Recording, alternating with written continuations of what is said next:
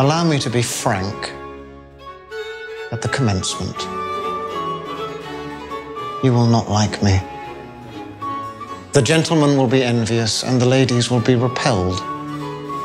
You will not like me now, and you will like me a good deal less as we go on. What I require is not your affection, but your attention. I must not be ignored. Now, ladies, an announcement. I am up for it all the time. It's not a boast or an opinion, it is bone hard medical fact. You will watch me putting it about and you will sigh for it.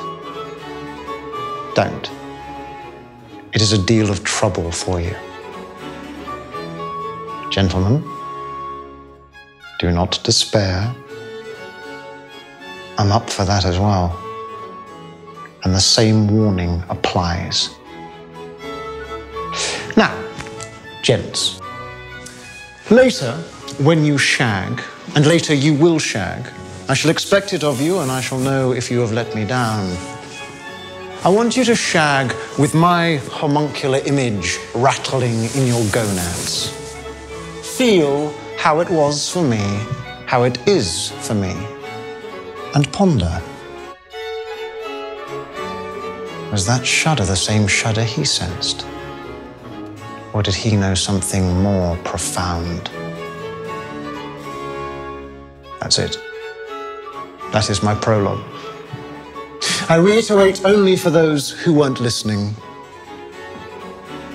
I am John Wilmot, the second Earl of Rochester,